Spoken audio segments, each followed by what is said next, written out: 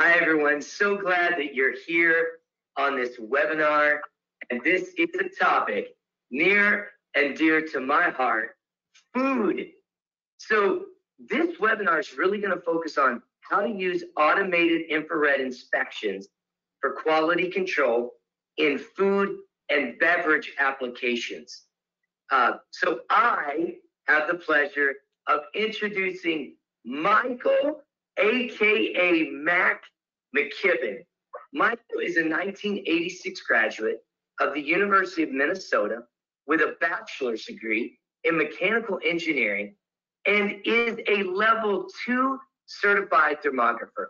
Michael started his career in 1987 as a sales and applications engineer for Minneapolis-based CAD CAM software firm specializing in sheet metal fabrication.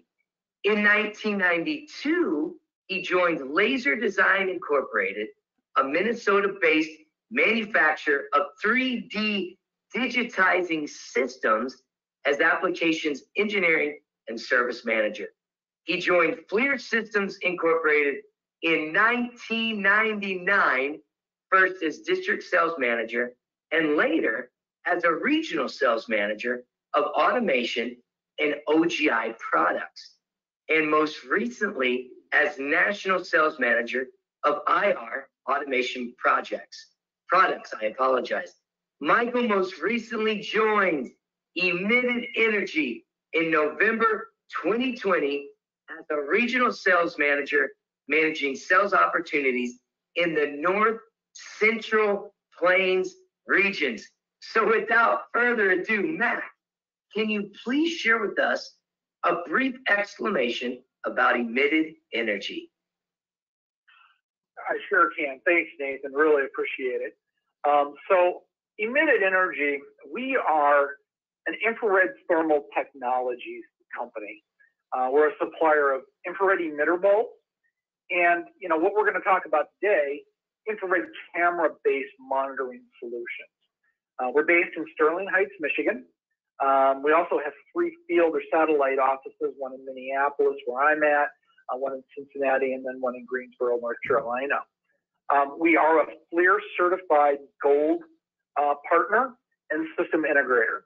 And then we've got 26 manufacturing reps uh, across North America to help meet with our customers out in the field and actually see their applications firsthand.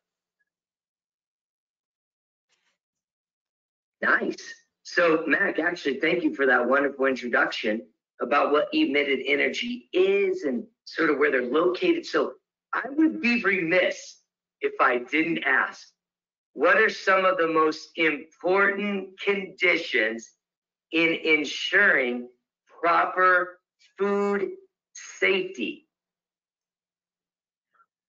You know, when, it comes to food production, there's a lot of different elements that go into making good product and, and safe product. You know, good ingredients, good equipment, sanitation uh, uh, rules and regulations. But there is one underlying condition or parameter that really spans all production applications, um, and that is temperature monitoring.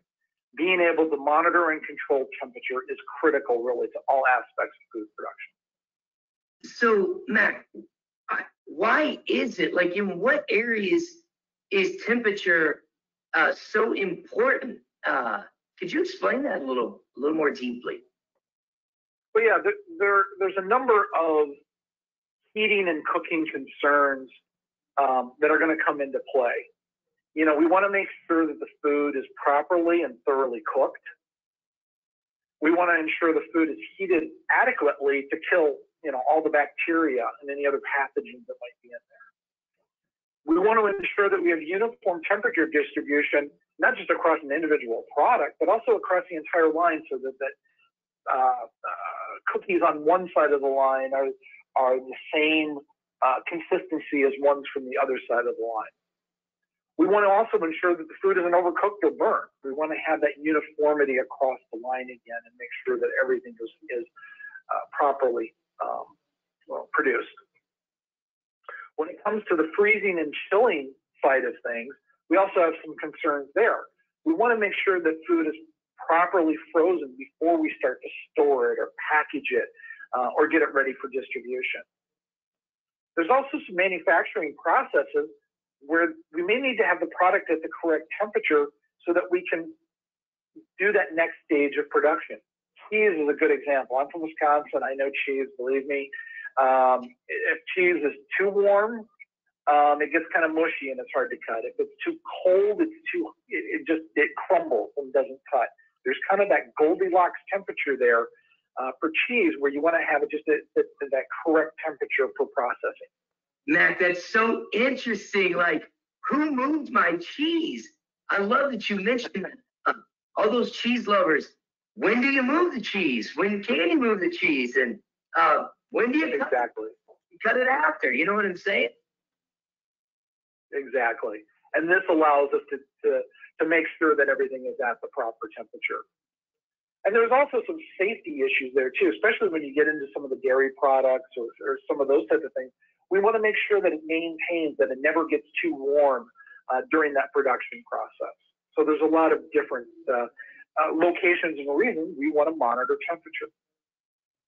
Now, some of the current methods that have been used uh, through the years to monitor the temperature is collecting randomized samples. And I, I say that a little hesitantly because depending on the individuals who's collecting those samples, they may be taken from different locations. A person with a long reach may tend to reach further across the conveyor than someone who is really petite.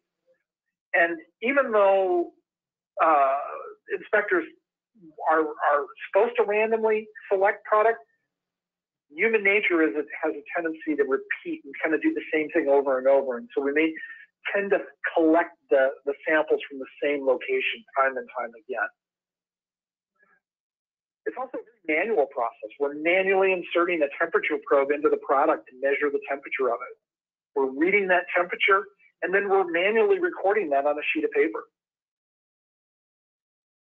It's also a very small representation of the product. We're not taking very many samples, um, partially because it's a destructive process. Once we stick that probe into the patty, we can't put that back on the conveyor line. It goes into the scrap pile. It's destroyed. And bottom line, this whole process is very laborious and it's very prone to errors.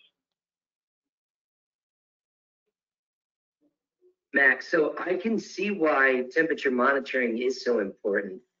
And it's obvious the current methods are quite laborious. I mean, I just can't imagine training being so standardized where everyone's getting the probe in the right spot, like you mentioned. So, are there more automated methods that customers can utilize to monitor and control their temperatures? There definitely are. And, you know, that's what our TPMS system is for. So the TPMS by Emitted Energy is a thermal process monitoring system. And it's not exclusive to the food uh, industry. We actually use it for a number of different applications as well. Um, but it is a system that employs FLIR infrared automation cameras. We're going to measure temperature in a non-contact method from a distance. It's collecting literally millions of temperature readings per second. And each individual frame or picture that the camera takes is thousands of, of temperature measurements, somewhere between 76,000 and 300,000 temperature measurements in every single image that is collected. And those images, we can actually save individual images. So we're, we're doing the analysis on the temperature measurements, but we can actually record the thermal image uh, or a little movie sequence that can be recalled later or more additional advanced post-processing and analysis. Now, when it comes to monitoring the temperatures, there's some basic applications where we may employ just a single region of interest. In this case, we're just monitoring the temperature along the line. And if the temperature goes above one threshold, we give the customer an alert. We tell them, hey, you're starting to get a little warm. If it gets too warm, we're actually going to sound the alarm, shut down the line, uh, create all kinds of notifications. And those notifications can either be via an audible or a visual alarm right on the, the production line. We can also send an email or a text message out to production staff and production management. And of course, anytime we encounter an error uh, or an alarm or an alert, we're going to record that data. We're going to log the time and the temperature um, that, that caused that alert. And as I previously mentioned, we can record a snapshot or a little video sequence that can also be used to help analyze and see what's going on. Now, some applications, we may want to move up to monitoring zones across the line. So instead of monitoring one big area, we may want to put individual zones across here and monitor what's happening in individual lanes. We can alarm and alert based off of the temperature measurements in each of those individual zones.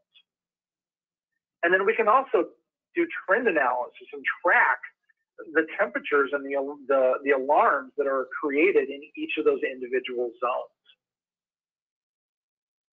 The reports that are generated, um, this is just a sample uh, of what we can do. There's CSV files that are outputs with, with min, max, and average temperatures, uh, standard deviations, and of course, everything is timestamped, so we know exactly when these things occurred. And of course, as I previously mentioned, we've got the, the video and radiometric JPEG files that, that can be read directly into FLIR reporting software to generate FLIR thermography reports. Now, there are some applications out there or customers that have applications where they want more advanced capabilities. Um, and machine vision tools give us those capabilities. So because this is a machine vision camera, we can actually use machine vision tools to recognize individual product location based off of shape recognition. So we know the location of all these little tater tot sized objects. And we can monitor now the temperature on each of these individual product samples. And now we can also take that data and create alarms and alerts based off of those individual temperature measurements. And of course, we can do our trend analysis on each of those individual products. There's also some additional value to using machine vision tools because now we can also use that same infrared camera to identify some non-temperature related product issues. Things like alignment issues, oversized or undersized product, overlapping or touching product, bent, broken, or fragmented product as well. Now, some of the applications or the typical products that we kind of have traditionally used thermal monitoring on is things like pre-cooked bacon, bacon crumbles, pre-cooked meats like burgers and sausages and, and, and chicken patties, uh, par-cooked snack foods like pizza rolls and egg rolls, and on the chiller side, um, you know, I mentioned the cheese and the dairy applications; those become pretty apparent. But also frozen appetizers, French fries, onion rings, anything that needs to be frozen and, and brought down to a temperature before we can go off and store it. And, and, there's also many other unique applications. There's one that that I remember that um, was way outside of the box that, that I normally encountered, and that was a frozen pizza melt application. And it was a frozen pizza manufacturer. And so that your cheese doesn't slide all to one side of the packaging when you throw it, you, know, you put it in your bag, especially if you put it on vertical edge, um, they actually would melt the cheese uh, before they would package it. Um, and they, they did that by passing it underneath an infrared emitter tubes. Um, and they would actually melt that cheese. The problem that was occurring was at times the pizza may be offset a little bit from the cardboard carrier that goes underneath the pizza. Or in other cases, they may not even have a pizza at all. They may just have a piece of cardboard and yeah, something happened. A uh, pizza broke or whatever and got rejected, and they had just a pizza uh, cardboard underneath there. And the infrared lamps would get so hot for such a, such a short burst, they could actually set that cardboard on fire and then have a fire uh, as it exited out of the oven. And that customer actually wanted to monitor for fire. So it's a little bit different than monitoring temperature for the production, um, but it's using the same technology. So, Mac, are there other areas in food production that can utilize your TPMS? This is all very intriguing. Definitely. So once the, the product has been cooked or frozen or whatever other processes we're doing, we still need to get this package to get it out to the customer. And there are some uh, thermal related issues in packaging. One of the first ones we, we're going to look at is box seal quality. So when we put a box together, it comes as a, a flat package. We fold it up, we put some glue, and we close the flap that glue needs to be at a certain temperature in order for it to adhere to that other flap correctly. It has to be dispensed at the correct location. And if we have dispenser issues like a clogged nozzle, we could end up with gaps, splatters, incorrect glue volume. There's a number of problems that can start to arise. Uh, and, and all of this is temperature related or can be seen as, as uh, with thermal imaging. And one of the cool things about box flap monitoring is we're not actually going to do it looking at the glue. We actually look at it after the other flap is closed over the top of it because heat conducts through the surface. And if that flap makes good quality contact with a glue that is pliable and hot enough, it's going to adhere. And we'll see that heat conduct out to the outside surface and create a pattern that we can recognize as a good seal. So by monitoring that the temperature within each of those patches, we can tell that the temperature of the glue is at the correct temperature. And we can alert if that temperature started, starts to approach an out of range condition and alarm again if the temperature is outside that range. We can also monitor the size of the glue patch, how many pixels uh, meet this certain temperature requirement, um, and, and it can help us ensure that we've got a good quality seal. And of course, then we can begin to alarm if the, the, the glue patch is too large or too small as well.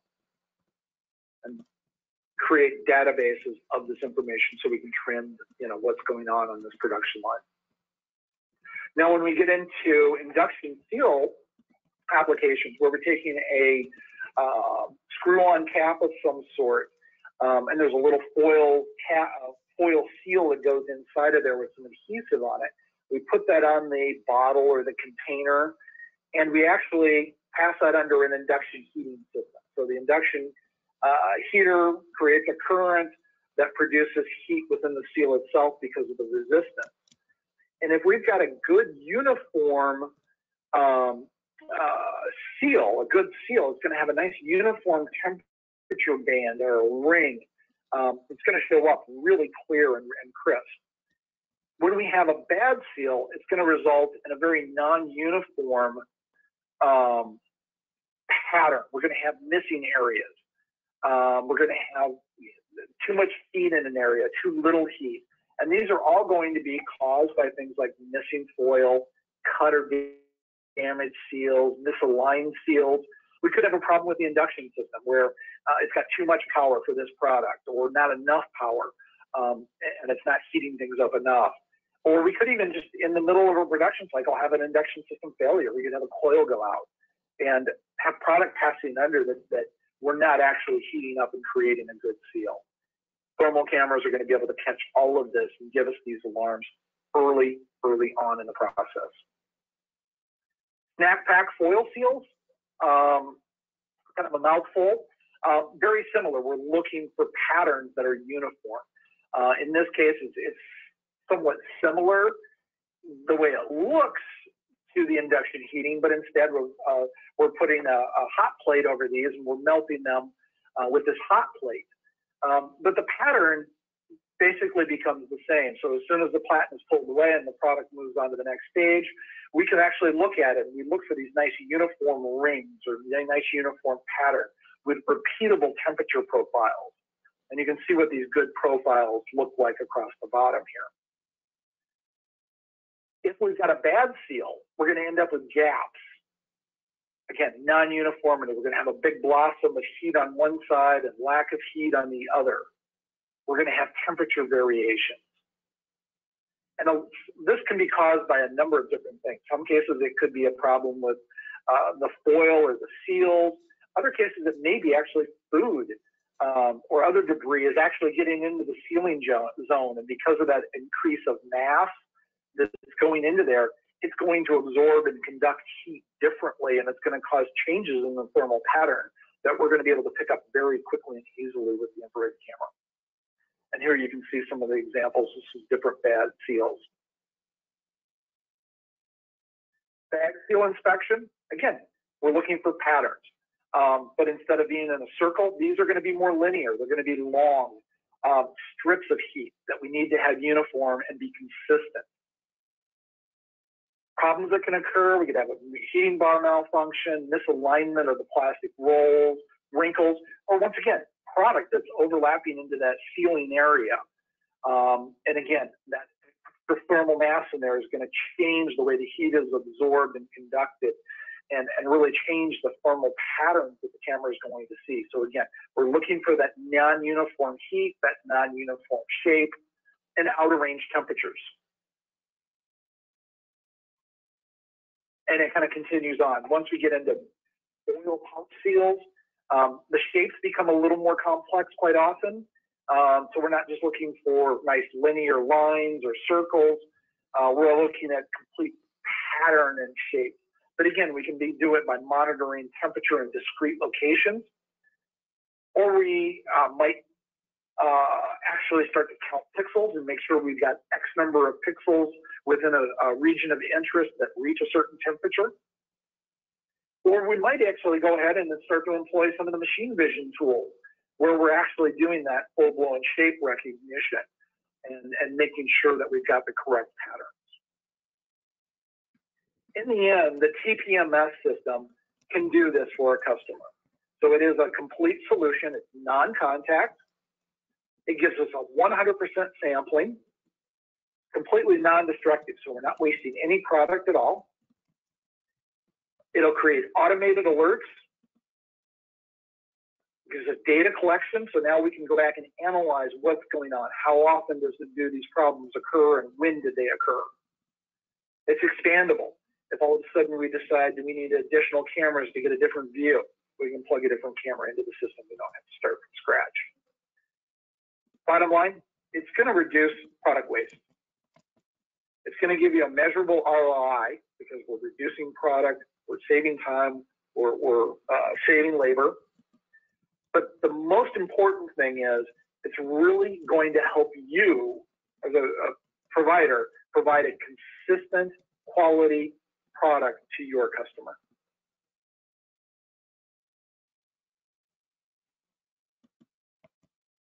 Wow, Mac, thank you. That was so comprehensive. Uh, I, am still trying to pick myself off of the floor about non-destructive testing. So I just want to thank everyone for spending these special moments, you know, with with Mac and I, and and uh, I know that you enjoyed this presentation. I know the juices are flowing with your imagination on your applications. How can I do this and that? So because your mind is turning now, if you have any questions, please feel free to reach out to these individuals. I don't know why you wouldn't reach out. Their names are on the screen, their contact information is right there. I'm imploring you to do so. If you would like uh, to uh, get more specific application and uh, set up a, a virtual uh, tour or an in-person demo, virtual demo, then uh, reach out to Mac or Chris or Roy, and they would be gladly to do so. Lastly, if you want to see more of me and learn more about how you can connect the dots with thermal imaging, please follow our videos by going to YouTube by typing emitted energy or follow us on our LinkedIn page or visit us at www.emittedenergy.com. thank you again for your time, and we look forward to hearing from you right now.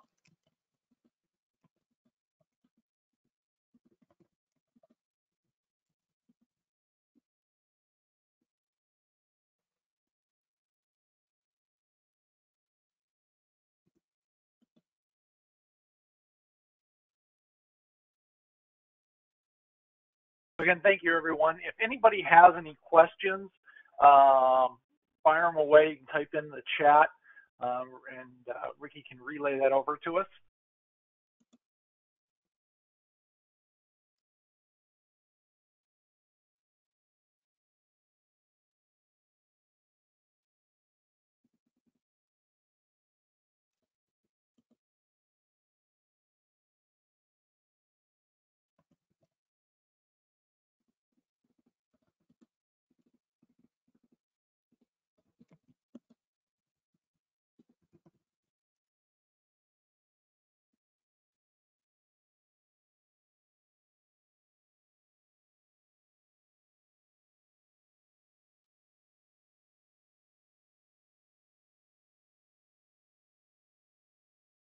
Uh, so far, we haven't had any questions. Uh, uh, feel free to fire away if you have one. If not, we're probably going to go ahead and end this session. Again, we thank you very much. Please, please give us a call uh, with any questions you might want to have. Uh, you know, have a private conversation and talk about your individual application.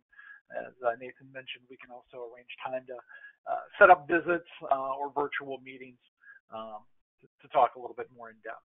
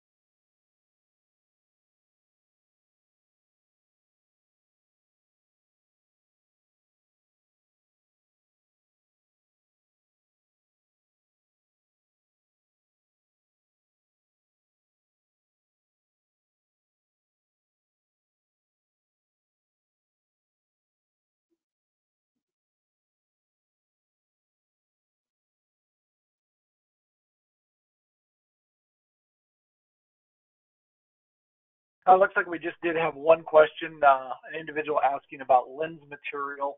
Um, you know, it kind of depends on a, a particular um, application, uh, location of the camera, and those kind of things. Uh, the lenses on the cameras and, and the, the, housings are typically made out of germanium, um, which uh, can be picked up by X-ray machines. It does not get picked up by um, uh, magnetic detectors or metal detectors. Um, but there are some things we can do, like put in a catch basin, have the camera off, you know, out from over the line. Um, uh, in some applications, just doing uh, routine inspections is adequate for a particular customer. In other cases, we may move to a uh, polymer window.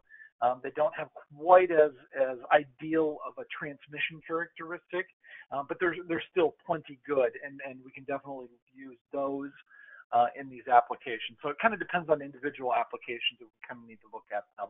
So thanks for the question. Great question, though.